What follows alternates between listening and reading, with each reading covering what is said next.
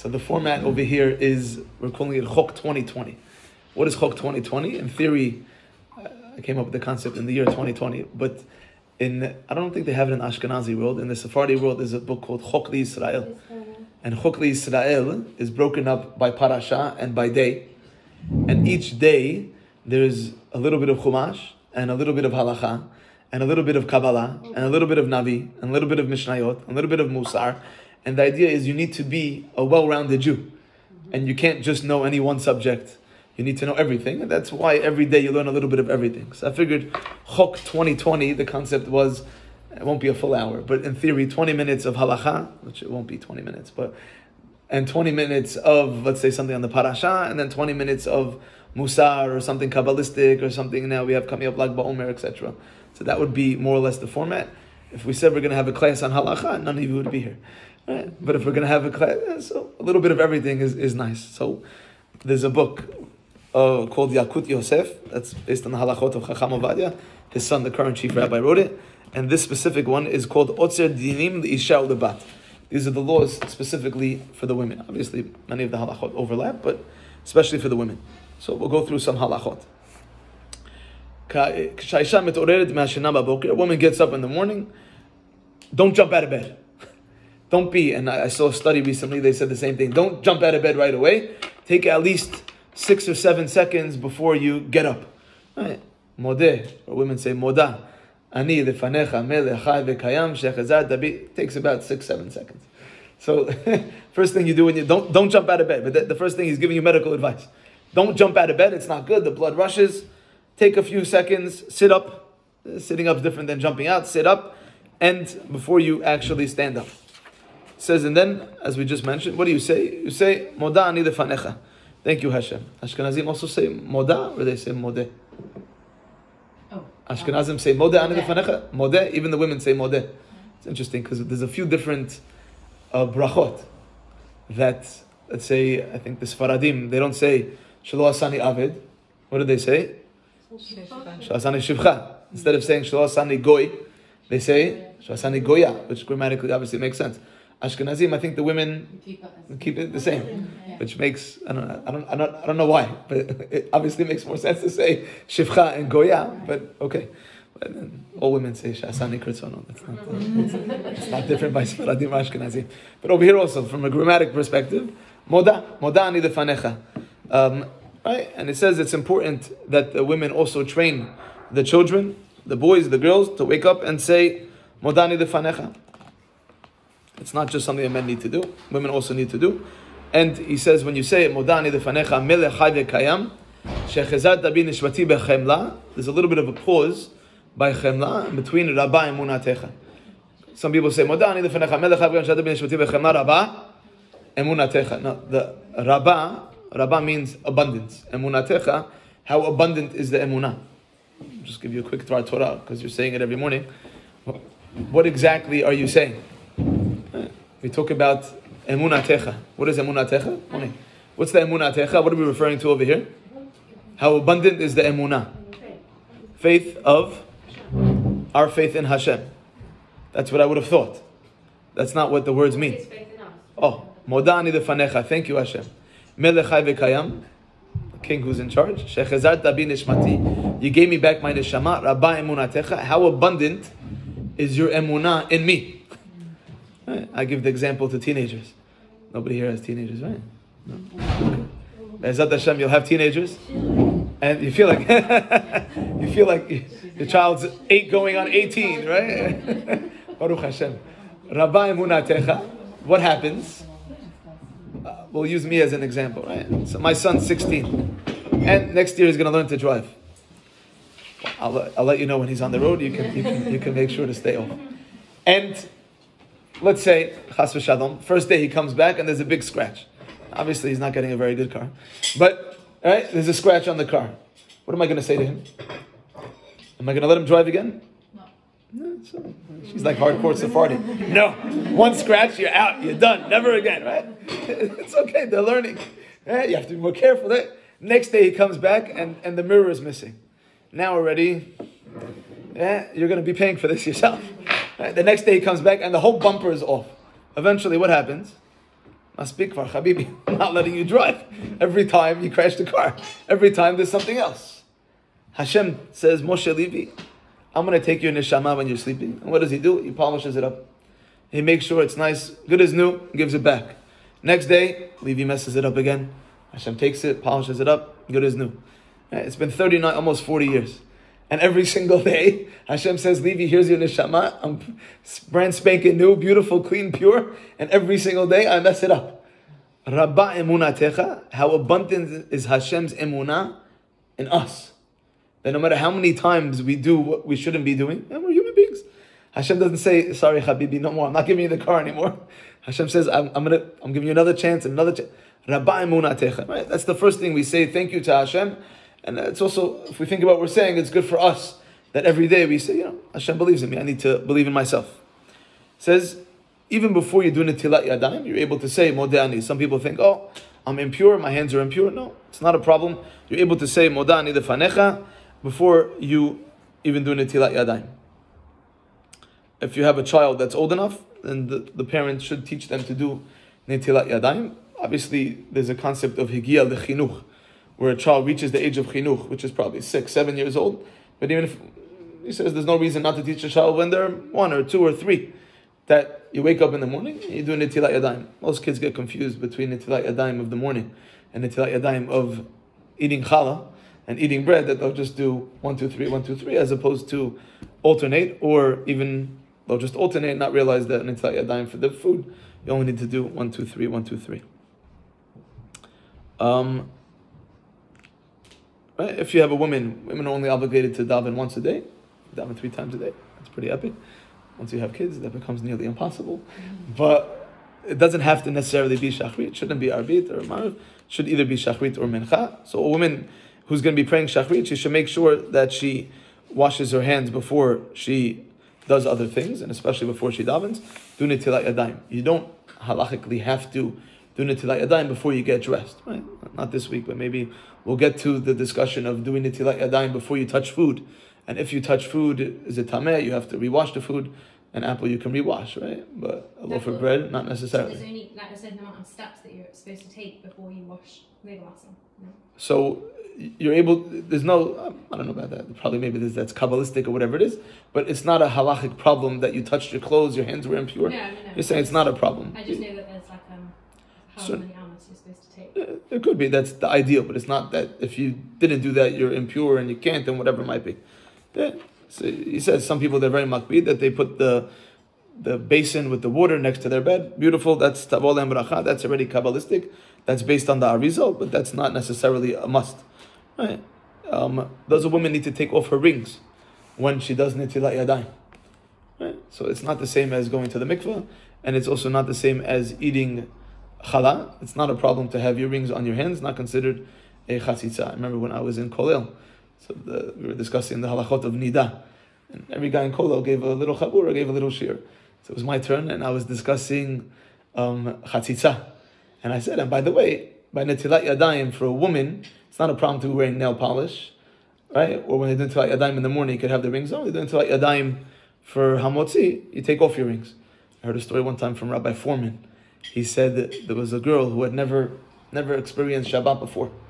And I think she was in seminary, and she went with a bunch of girls in seminary to, uh, to someone's house and she knows nothing, and they sing Shalom Aleichem, and it's beautiful, and they sing Eshet Chayil, and it's magnificent, and then everyone goes to wash their hands, and she's watching, she's towards the back of the, of the queue, everyone's washing their hands, and what do most girls do when they have rings? Where do they put their hands as they wash them?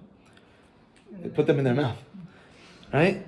And she's getting more and more nervous, and she's getting towards the front, and she says to her friend, This happened at your in-laws. yeah, she says to her friend, she looks back, and she says to her friend, she's like, I don't know what to do. She's like, what do you mean? She's like, I don't have any rings to put in my mouth. she thought that was part of the ritual. what do you do before you your dime? You take a ring, you put it in your mouth. Like, right? But for Nitilat Yadayim in the morning, it's not a problem. Just to finish off the story, I was giving a shiur about chatzitza. So to wear nail polish for mikvah is, is problematic.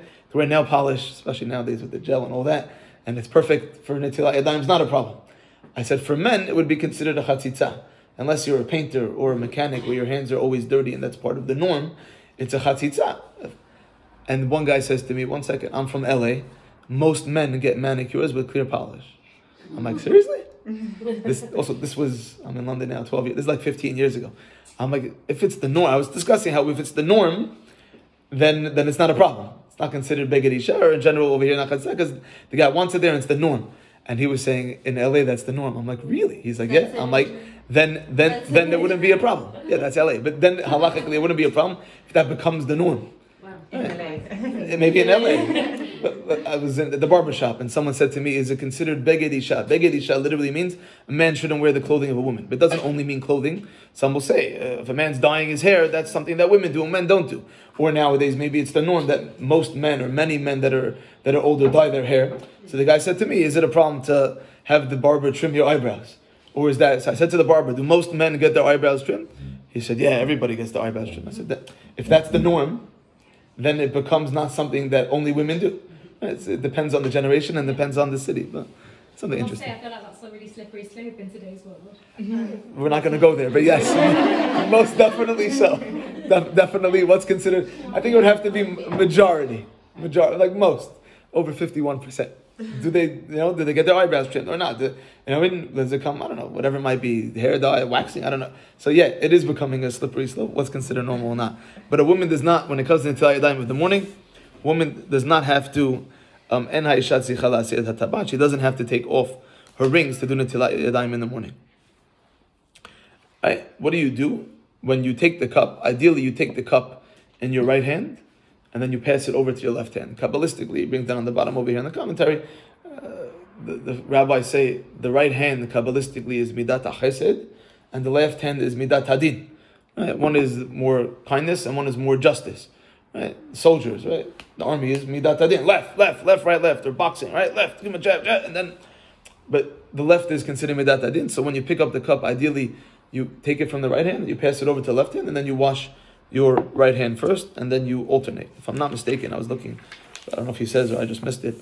I think you alternate because when you're half asleep, it makes you be more aware. If you're just like, "Mm." and ideally you do it three times because again, kabbalistically, if I was to ask you why is it that you need to do Nitilat Yadayim in the morning, what would you tell me? To get rid of the Ruach Hara. You're washing your hands. One reason is to get rid of the ruach ra. Another reason is because you're about to go talk to Hashem and you need to be clean and pure. Another reason is because you might have touched places that are meant to be covered. So he says women aren't necessarily davening shachrit and going to talking to Hashem. So that reason is not always applicable, but you still have this concept of ruach ra, of impurity that might have settled in on you. And you might also might have touched areas that are normally covered, and therefore women need to wash their hands and you do it alternating. Um, he says, if you don't have a cup, ideally you're supposed to have a cup. This is for Netilat Yadayim of the morning. It's a little bit different from Netilat Yadayim of, of food.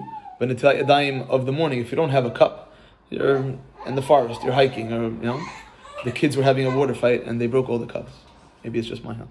I don't know, right? And you don't have any, you don't have any, you don't have the Netilat Yadayim cup. So you can stick your hand under the, the faucet, but you don't make the bracha, because it's not Nitilah which maybe we'll discuss more next week, but it's not Why would they nitilat. Put it in a basha and this one, even like even for bread. Uh, It's meant to be in a cup. What's the reason behind why it's meant to be in a cup? Why didn't you just?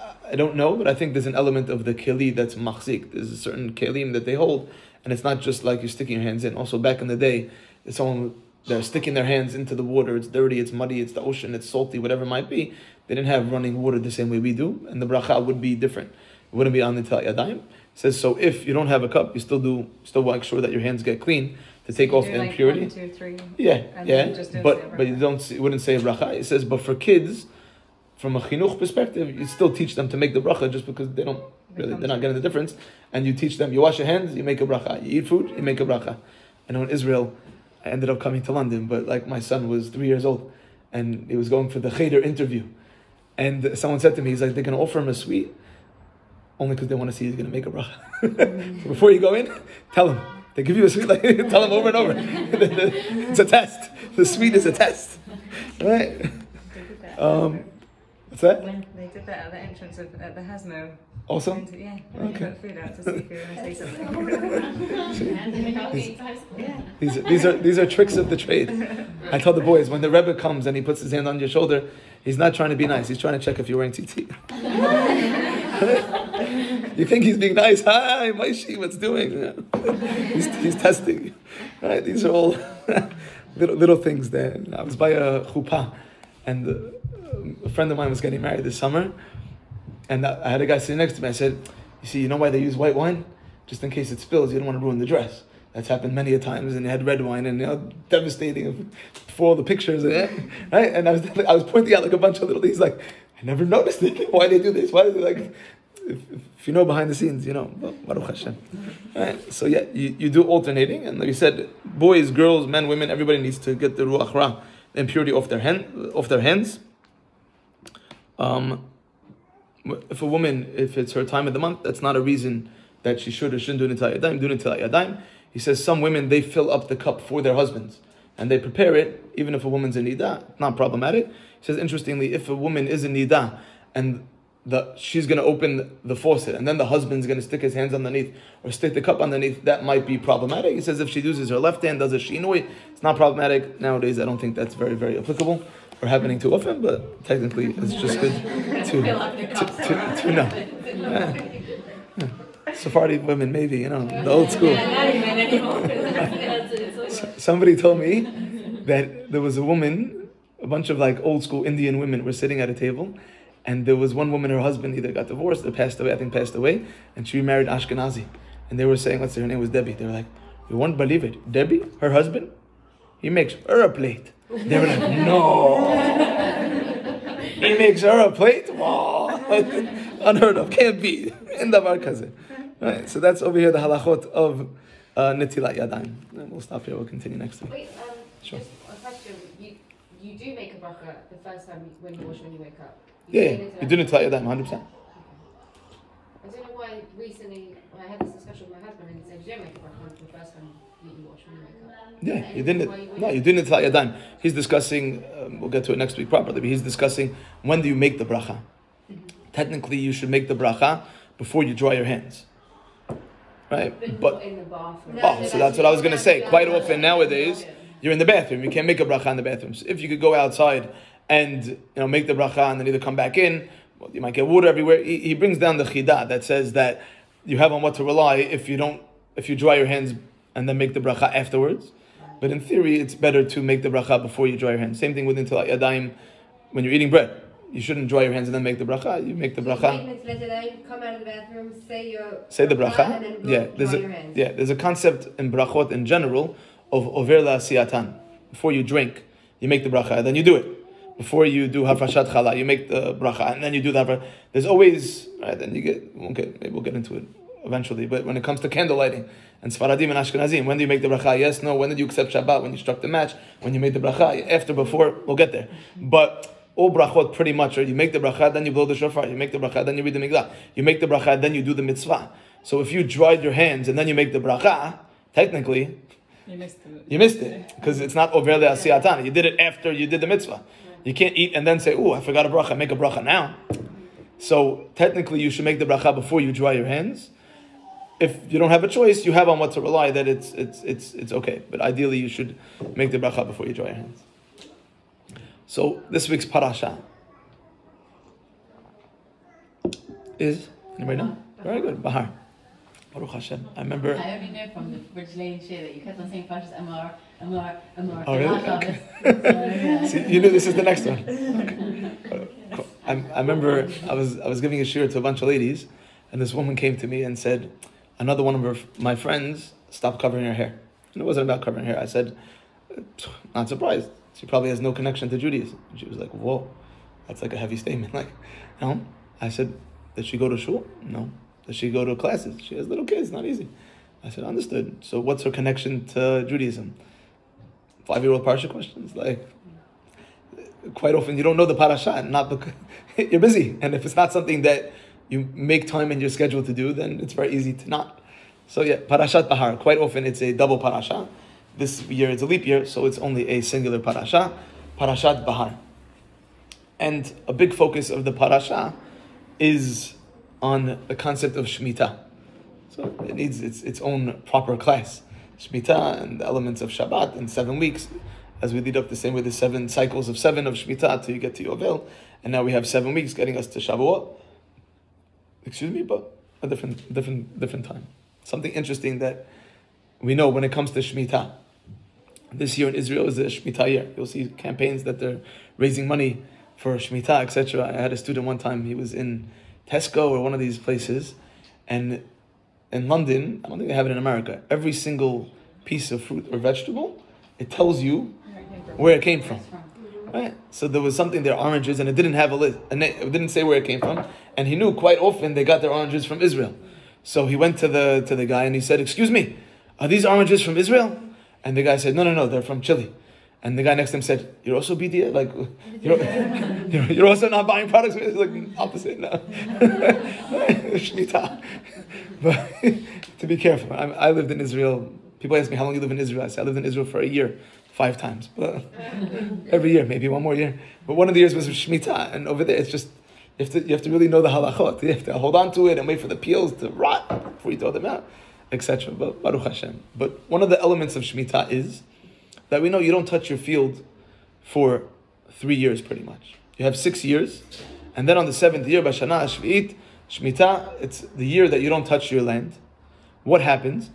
that year, everything just sits there and pretty much will grow and then rot. Now, what happens after the seventh year? You need to get rid of all that, and you need to now plant. When is that now going to grow?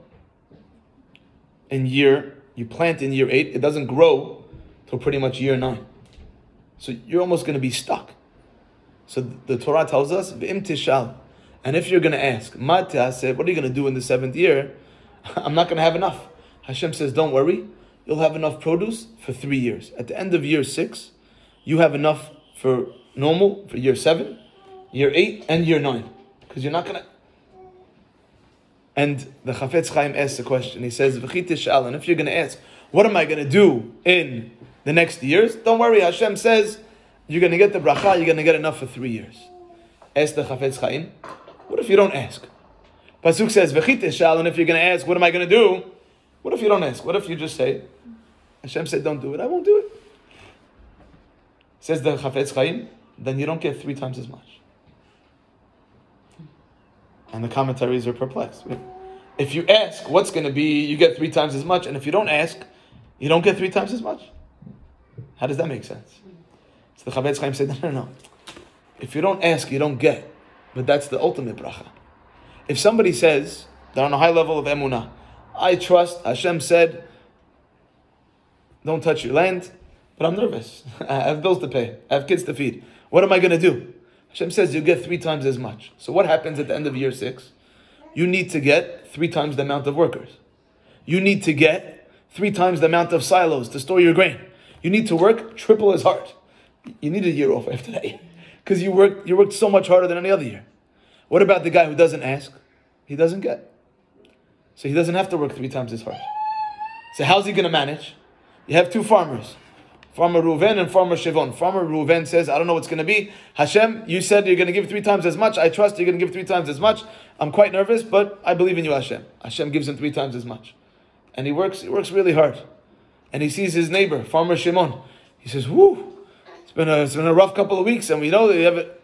He says, what do you mean? He says, you didn't get three times as much? No. What are you going to do? I don't know. Hashem said, don't worry about it. I don't worry about it. How are you going to manage? Yeah, Mashiach. I trust Hashem said it'll be good. That guy normally, Baruch Hashem, has six kids, needs to order two pies of pizza. You'll see, once you have teenagers, no matter how much food you, whatever you put out, they'll eat. It's not a problem. You're thinking, oh, each kid will get two slices. You order two pies, they'll eat it. They order three pies, it'll be done. it'll be done. Right? Teenagers, Baruch Hashem. Normally, you need to order two pies. Over here, each kid eats two, three slices, and they want chips, and they want sushi. The farmer who says, whatever Hashem wants will be, will be. You know what happens? The guy orders one pie. Each kid has three bites, and like, whew, full. Normally, the guy has to do an MOT every year. Needs new tires, needs new brakes, normal wear and tear. The guy who trusts, the guy who believes, the guy who said, Hashem said, don't worry, what happens? He doesn't worry. And you know what? Hashem gives him the bracha that not only does he not get, he doesn't get the three times as much because he doesn't need it. Hashem will sort it out. The kids don't get sick. The car doesn't break down. The house doesn't leak. The, the appliances that are old, they seem to manage. I said to my wife sometimes, my cars are at least 15 years old. And sometimes you do the MOT and you, you need to spend five, six, seven hundred pounds. And sometimes, sure, just the MOT, 55 quid, done. Hashem loves us. Right? Th- th- There's different times where different things happen. And this worked out. It's Omen Hashemayim. If you trust, Shemitah is the ultimate trust. She agrees. Right? Shemitah, the ultimate trust in HaKadosh Baruch Hu. Hashem says, we show Hashem, I know that Hashem, you run the show. When it comes to money, when it comes to business, I put my trust in you, Hashem. And it's going to be what it's going to be. So I'm not going to stress. And that leads us to Lag BaOmer, that's in a couple of days. If I was to ask you, we have coming up Lag BaOmer, what are we celebrating? What would you tell me? What are we celebrating on Lag BaOmer? Shimon, Bar Yochai. Rabbi Shimon Bar Yochai. What does that mean? What are we celebrating? My gosh, why me? Students. Yeah, the other Rabbi Akiva's 24,000 students stopped dying. And that's what the rabbis tell us. And I always ask one simple question. How many students Rabbi Akiva have? 24,000. How many died? Woohoo! Let's make a party. Everyone's dead. Let's make a barbecue. Like, what, what are we celebrating? Rabbi- I read about this, I think it's, it's the five, the five um, Rabbanim that got smicha from Rabbi Akiva after all those 24,000 Oh, died. so let's let's understand who was Rabbi Akiva, and then we can appreciate what we lost and appreciate what we're celebrating. Alright. We can have a book in my car by a rabbi called Marcus Lehmann, German rabbi from the 1800s. He has a book called Akiva, fascinating. You don't even realize he fit in like a hundred different Gemaras in there. He doesn't like quote the Gemara. You just read it as a story, and then he has, I guess you would call it the female version, called his wife was her name was Rachel. Yeah, her name was Rachel. Yeah, yeah Baruch Hashem. So it's good. Her, her name was Rachel, so highly recommended. So we take ourselves back, little almost two thousand years. The walls of Yerushalayim are surrounded, and there's three very wealthy men in Yerushalayim that have enough resources to wait out the Romans. We have enough resources for 21 years. Fruits, vegetables, wood, everything will be good for 21 years. And there's no way the Romans are going to stay surrounding Yerushalayim for 21 years. A year, two years, three years. They give up hope. They realize these people, they try, they're not, they can't besiege the walls. Excuse me, there's a group of people called the Biryonim. And the Biryonim, maybe from the term like barbarians, they they want to fight the Romans, and everyone says to them, "There's no way. There's no way we'll be able to defeat the Romans. Our army is not strong enough. Let's just stay here and wait them out." The head of the Biryonim is the nephew, if I'm not mistaken, of Rabbi Yochanan ben Zakkai, who is the chief rabbi. They're ready to fight. He has a meeting with Rabbi Yochanan ben Zakkai. Rabbi Yochanan convinces him not he says even if I wanted to stop them, they're just they're gun ho, they're adamant, they're passionate, and they just what do these people do? They realize that the Jewish people aren't willing to even try. So they go and they burn all the resources. The Jewish Biryonim burn the now the Jews are stuck. Chief Rabbi Rabbi Yochanan ben Zakkai says we need to figure out a way to, to do whatever we can. Rumor goes out that the chief rabbi died. They take Rabbi Yochanan ben Zakkai, they put him in a coffin, and two students bring him out. Out of respect for the rabbi, the Romans say no problem. They let him out to be buried. Rabbi Yochanan ben Zakkai comes to where the Romans were camped, encamped, and he says, I'm the chief rabbi of the Jewish people, I need to speak to the general. He goes to the general. Who was the general? So it was his father. His father was Vespasian, and he comes and he says to Vespasian, Greetings to you, my dear emperor. Vespasian takes out a sword and says, If the emperor heard that, he, he would kill me and kill you. He says, and he quotes a pasuk in the Navi. The prophecy is, the hands of Jerusalem will only be given to the emperor. As they're talking, comes riding on two horses, come two people, and they say, "Hail the emperor! The emperor in Rome has just died, and the council has voted you, General Vespasian, as the new emperor. We need you to come with us." He says, "Okay, I'll leave my son, Titus Titus, to finish the job here in Jerusalem, and he's going to go back to Rome." He says to Rabbi Yochanan ben Zakkai, "Because you're the one to give me good news." The Gemara goes through not our class for now. Interesting. It says when he he, he, he was supposed to take off his shoes to I guess switch shoes or whatever it was, and he wasn't able to because and Rabbi Yochanan ben Zakkai said, when you hear good news, your your feet swell, your body swells a little bit. Eh, You might call it bloated, whatever you want to call it. When you hear bad news, it, it goes back. So he said, if you want to be able to switch, hear bad news. Either way, he says to Rabbi Yochanan, I'll grant you three requests because you're the one who gave me the good news. I'll grant you three requests. And one of them was, Ten li Yavne. Give me the city of Yavne and the, the rabbis over there, the wise people over there. And we have Torah because Rabbi Yochanan, he, he made sure that Vespasian wouldn't destroy the city of Yavne. You might have heard of the yeshiva, B'Yavne, or there's a school in London, Yavne College, right? It became great because of the story of Rabbi Yochanan. Ten li Yavne v'chachamea. The commentaries ask, why didn't he just say, don't destroy the Beit HaMikdash? That would have been a much better request than the rabbis in Yavne. Said, Rabbi Yochanan understood it was a done deal. In Shamayim, it was already destroyed. It happened to be down here, they didn't actually put fire. The fact that the stones burn is a miracle. Just doesn't make any sense in the first place. But okay. One of these three wealthy men is a man called Kalba Savua. You ever heard of Kalba Savua? What does Kalb mean? Kalb is the Aramaic way of saying dog, and Savua means full, satiated. People would come starving. Right? Anybody who has kids knows kids are never hungry. They're starving. Mommy, I'm starving. Right? Kids, kids are never just hungry. They would come literally starving, like a dog, and Savua, you'd walk out full and satiated.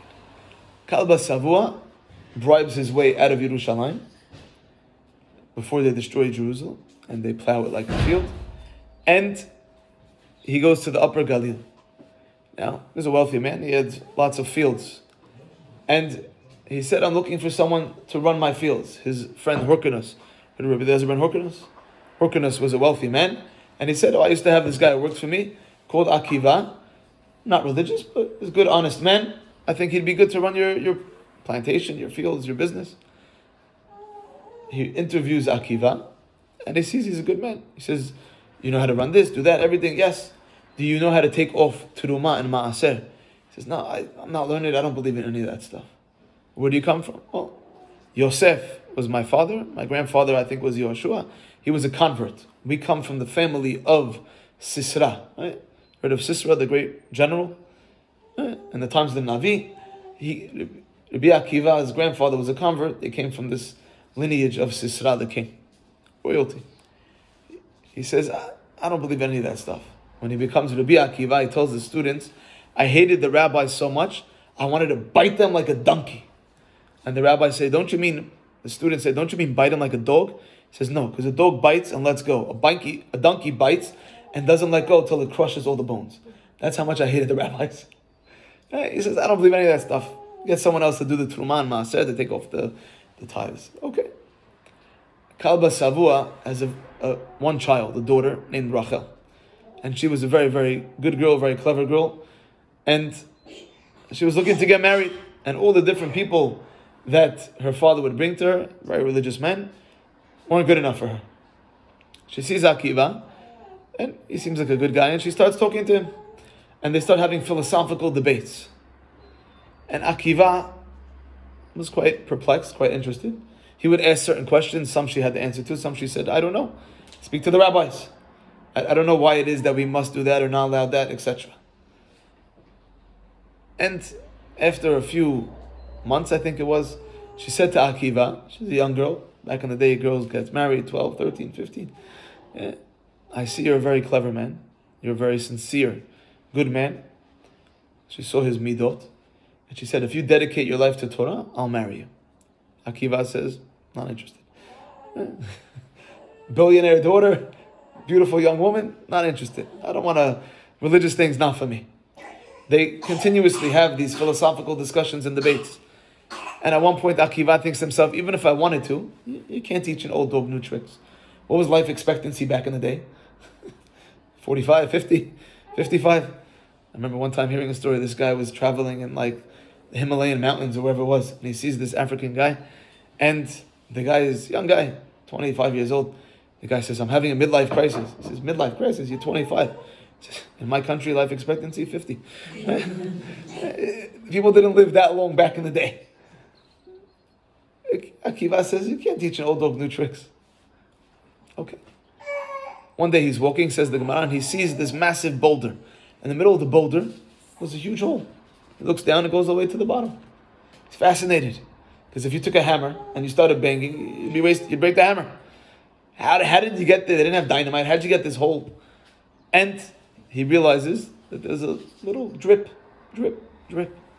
And eventually, over time and over years, that little drip that's nothing can cause a hole. And he says, if that little drip could penetrate this boulder, then maybe the Torah can penetrate me. Comes back to Rachel and says, I'm in. She's ecstatic. She says, amazing. She goes to her father, Daddy, I have a chatan. He knows she's very picky. She only wants the best. Amazing. Who's the guy? Akiva. Akiva who? Akiva, the worker guy. He's not religious at all. He's 40 years old. Doesn't, doesn't know any, doesn't know Aleph Bet. I'm telling you, Daddy, he gave me his word. He's going to dedicate his life towards Torah. He says, he just wants to take advantage. You're a young, beautiful girl. He's very wealthy. You're going to see. He'll agree to whatever you want. And then he's not going to do it. It's going to be too late.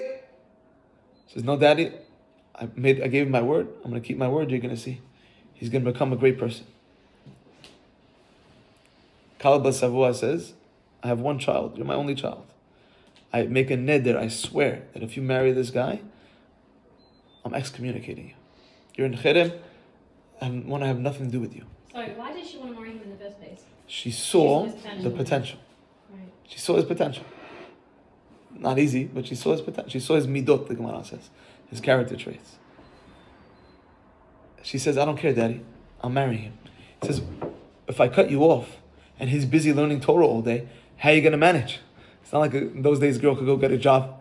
She says, I'll sell my hair. Right? Not such steady work. But I guess back in the day they also had, you know, shaitos and wigs and whatever it was. I'll sell my hair. Yeah, there's a market for it. He says, "I- I'm not. I'm cutting you off if you marry this man. She says, I don't care, and she marries Akiva. He goes to learn Aleph. Now, even till a couple hundred years ago, the average person didn't learn how to read. Only the upper echelon of society knew how to read. They kept it that way because they wanted to make sure there was. so I guess it was like that amongst the Jewish people because our rabbis tell us Akiva, Amen, doesn't even know Aleph Bet. Now it could be he knew basics. Right, Aleph, you take the letter Aleph. Right, so you have over here the letter Aleph. Aleph is Aleph, but it's also 26. How is Aleph 26? Right. Aleph has a numerical value of 1, but also 26. How is Aleph 26? Because if you look on top, there's a little Yud. You look on bottom, there's a little Yud, and there's a line going through it, that's a letter Vav. Yud Yud and Vav is 10, 10, and 6, 26, representing Shem Hashem. Eh, It could be, that, that's a very simple, basic. maybe, maybe they were going through all the depths of what's the letter Aleph, what's the letter Bet. But it sounds like he was sitting studying with even the kids in Cheder. Aleph A, Aleph E, Aleph O. Right? Uh, pretty embarrassing. Rabbi Akiva didn't care. Rabbi Akiva, he's sitting there learning Aleph Bet. And slowly but surely, he starts learning a bit more. He must have been very clever. More and more and more and more.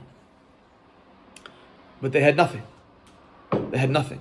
Right? They have a child, and before they, they, they're nothing to feed him. The Gemara tells the story. One day, Akiva and Rachel, there's a knock at the door. And this poor man says, Maybe, maybe, maybe, please, you could help me. And they're like, Are you kidding me? we have nothing, literally nothing. He said, Maybe my wife's due to have a baby. Maybe just some straw for her to lie down, just some hay. And they said, Hey, we can give you.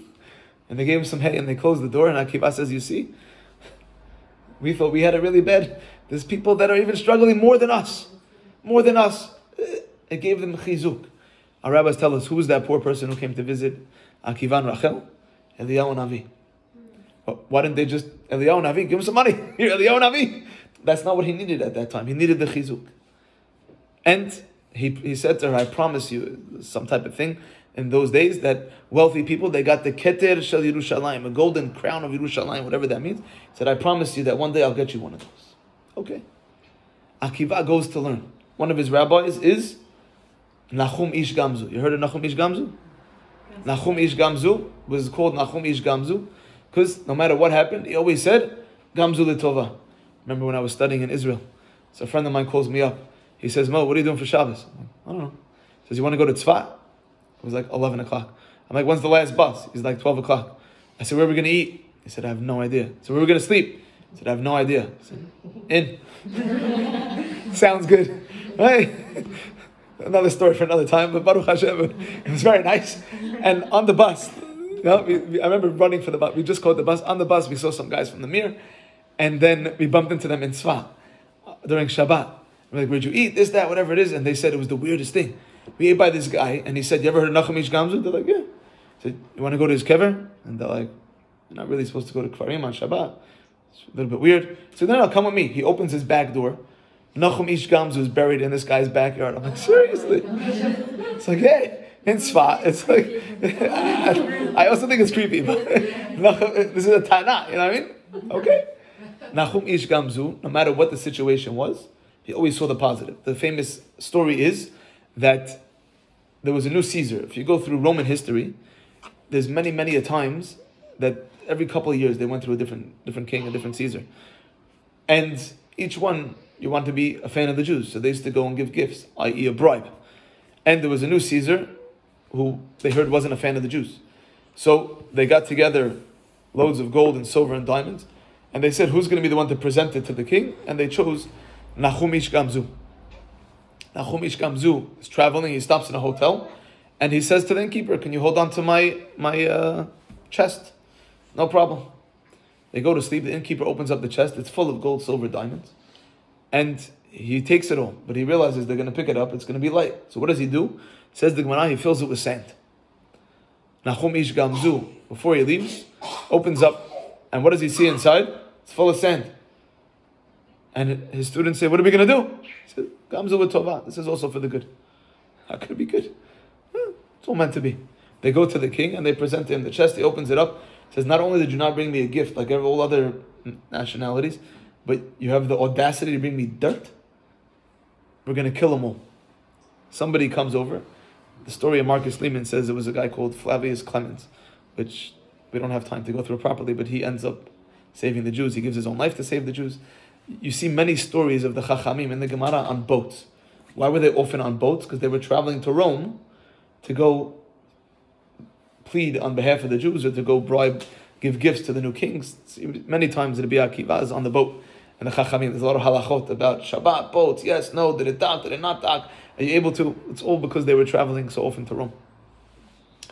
Nachum Ish Gamzu, so, so this guy leans over and says to the king, Your Highness, the Jews aren't stupid.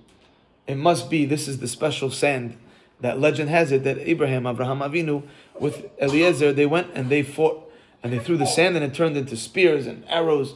He says, You know what? There's a certain area we want to conquer. They've been holding out. We'll go, we'll try. They take the dirt, turns into these sands and spears, and they win the war. And now the king is ecstatic with the Jews. And Nachum Ish comes and you see, I told you everything's for the best. He always saw the positive. Rabbi Akiva learned from his rabbi Nachum Ish Gamzu. No matter the situation, he always saw the positive. Well, fast forward many years. Rabbi Akiva thinks that there's a man called Bar Kochva. He says this man is Mashiach. This man's Mashiach. He was convinced Bar Kochva is Mashiach. And at one point, Bar Kochva says, we need to make an alliance with the Egyptians to defeat the Romans. Rabbi Akiva says, if you are the Mashiach, you know that it's Hashem that's going to save us. Bar Kochva says, yeah, but we have to do Hishtadlut. He says, Mashiach would know Hishtadlut is not partnering with the Egyptians. Right? They go back and forth. Bar Kochva says, I have responsibility to the people. Maybe I'm not Mashiach, but I got to do what I think is the right thing to save my soldiers. Rabbi Akiva leaves him. As Rabbi Akiva is traveling, he stops by a hotel. They didn't have Gedolim cards back in the day. They didn't know who it was. He's with a few students. He says, Do you have any room in the hotel? They say, Sorry, no, no room. His students say, What are we going to do? Whatever God does is for the best. They go sleep in the forest. They have a fire. They have a donkey. They have a rooster. Comes a lion and eats the donkey. That's not a normal thing. What are we going to, how are we going to travel? Whatever Hashem wants is meant to be. The rooster drops dead. What are you going to do? Whatever Hashem wants is meant to be. The fire, massive wind out of nowhere comes out, puts out the fire. We're freezing cold. Whatever Hashem wants. The Gemara continues. The Romans were coming to fight Bar Kochva. On their way, they went to the hotel. They killed everybody.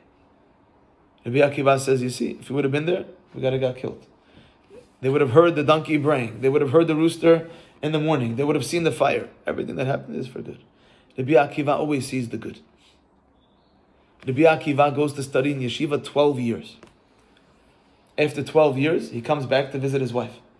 He's about to walk in, and he hears his wife talking to the neighbor, and she says, I can't believe you haven't seen your husband in 12 years. He's not even going to recognize you. He's not going to recognize the kids. And she says, if it was up to me, it would stay another 12 years. What does Rabbi Akiva do? He turns around and goes home. And the commentaries say, I don't understand. You're at the door. You haven't seen your wife in 12 years. Sit down for a tea. Say hello. They said Rabbi Akiva understood 12 plus 12 doesn't equal 24. 12 plus 12, what does that mean 12 plus 12 doesn't equal 24? You take a pot, you put in some water, you put some eggs, you want to make them hard boiled. You put it on the fire five minutes, you take it off. You have hard boiled eggs? No. Ten minutes later, you put it back on the fire for another five minutes, take it off. Still not hard boiled. An hour later, you put it on the fire for another five minutes. Two hours later, another five minutes. It might have been on the fire overall for over an hour. Do you have hard boiled eggs? No. Because 5 plus 5 plus 5 doesn't equal 20. Rabbi Akiva understood 12 plus 12 is not 24. Next week's parasha discusses the curses for the Jewish people. And it says 10 people will chase 100, and 100 will chase 10,000. And the commentary said the math doesn't work. It should be 100 will chase 1,000 if one chases 10. They say no. Because when it comes to these things, it's not about the numbers. And there's a rabbi called the Meiri, he says same thing with learning Torah. You have Moshe Levi. Now let's say Moshe Levi learns an hour of Torah a day, and you have uh, Chacham Ovadia. Chacham Ovadia learns 20 hours a day.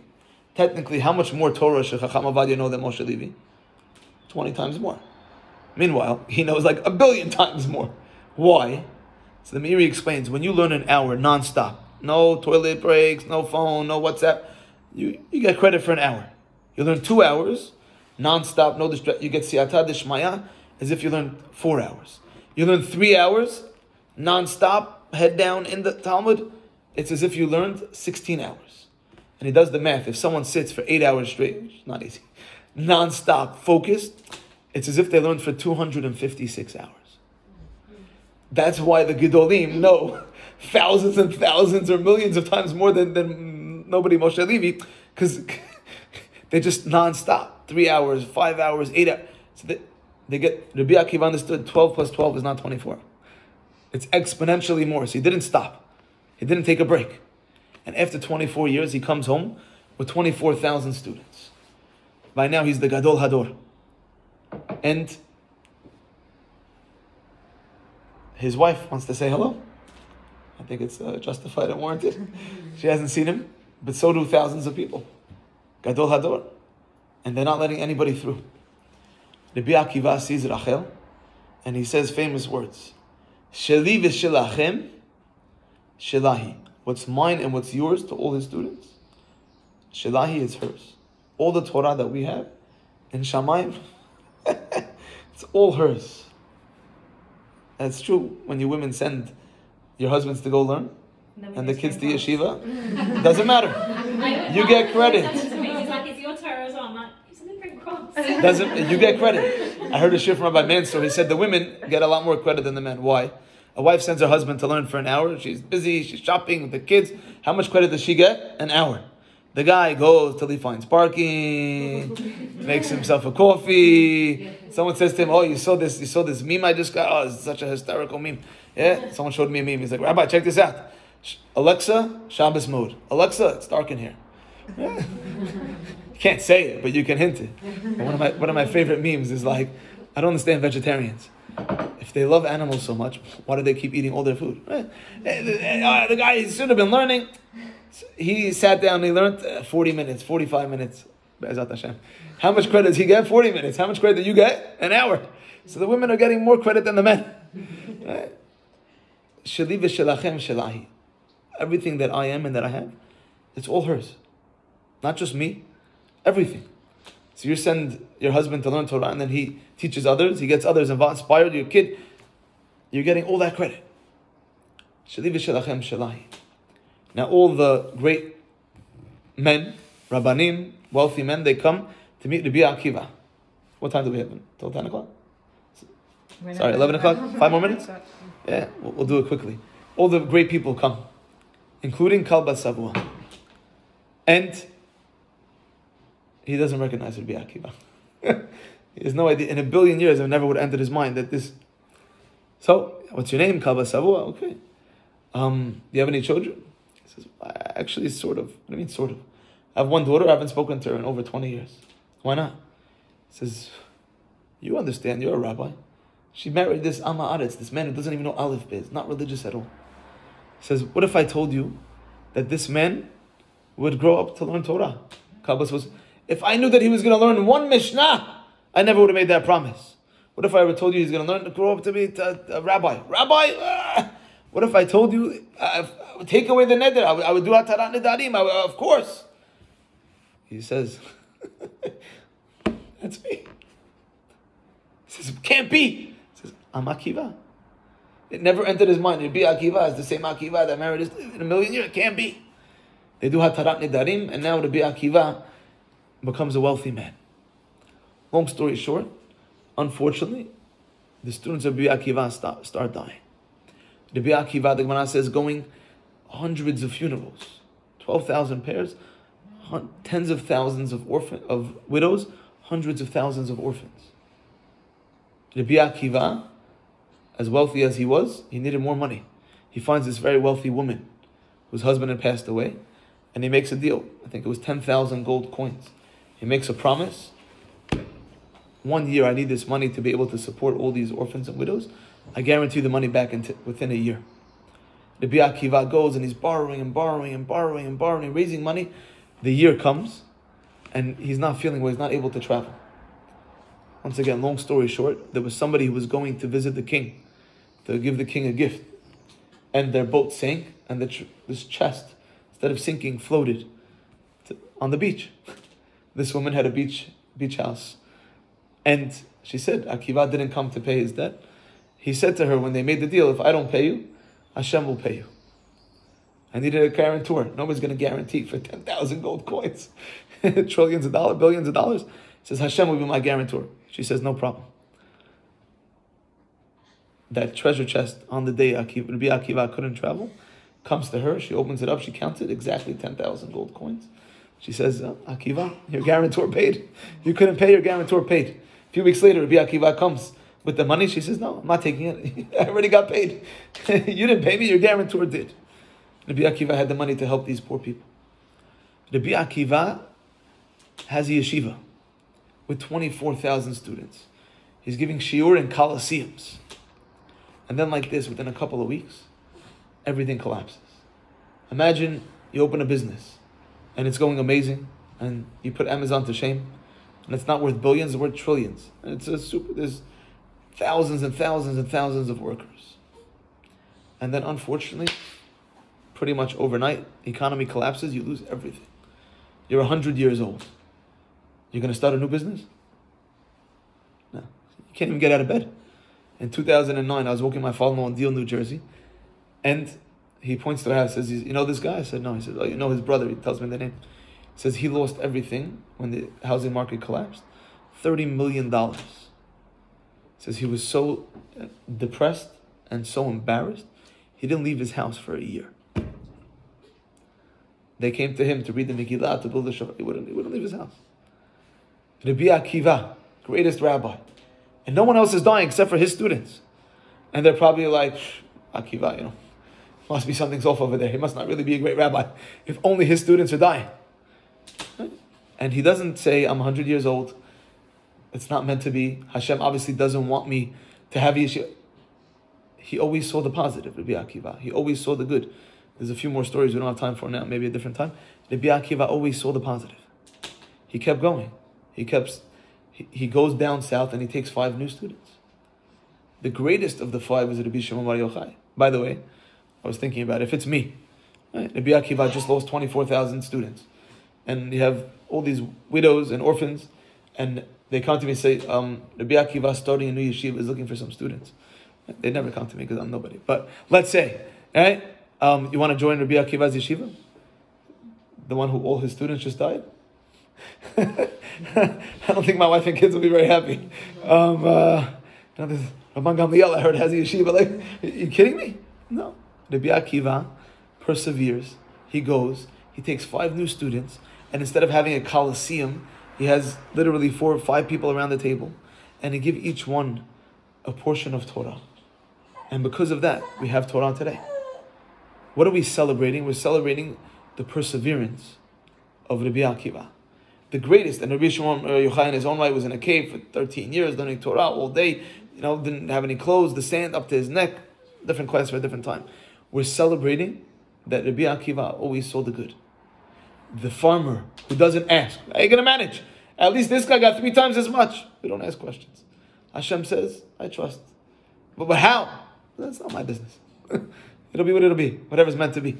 People are like, oh, what's your view on uh, on aliens? Do they exist? And I'm like, hmm, when they show up, I'll worry about it. Otherwise, it's really irrelevant. Makes for some good movies. Who cares? What happened with the dinosaurs? I don't know. It doesn't affect my life, so why do I worry about it? It? Things you can't control, don't worry about it. It is what it is. I did my hishtadlut. I sent the email. I sent. Uh, I called this one. I sent that one. Whatever Hashem wants is what's going to be. The farmer, he says, Hashem said, don't touch your land. I won't touch my land. Rabbi Akiva said, this is what happened. Whatever it is, I'm going to do what I got to do. Whatever happens, the results, that's up to Hashem. Rabbi Akiva kept going. He always saw the positive. And especially after the past couple of years we've had, we have to have that attitude. What was, what could have been, what should have been, it's done. Right? I'm, I'm dyslexic, so I retain stuff much better audio. Right? Wherever I go, I take my AirPods, listen to Shiurim, and I was listening to a book. And I said to him, I sent it to my brother-in-law. And the book was The Power of Now. It says most people live in regret and with anxiety.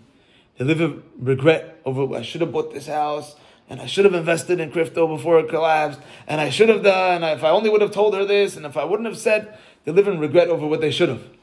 And they live in anxiety of what will. Well, I don't know what's going to be if my kids are they going to get shidduchim, eh, my husband, his job, I don't know. Can you control it? So what are you worried about? live in the now. Great people live in the now. Yeah, don't live with regret and don't live with anxiety. Do what you can, and it's going to be what it's going to be. There's no point. Rabbi Akiva said, "What was was. I don't know. It is. I got to do my hishtadlut." And maybe he had the world, if you will, twenty four thousand students. He lost it all. Doesn't matter. I did what I had to do. I'm going to try it, and because of that attitude of always seeing the good that he learned from his Rebbe Nachum Gamzu, no matter what happens, he saw the positive. This one animals dying, the fire goes, it's all from Hashem, whatever's meant to be. Called the Avid Rahmana, the Tav Avid, whatever Hashem does is for the best. If we have that attitude, we learn from Rabbi Akiva, and we can continue going, Bezat Hashem.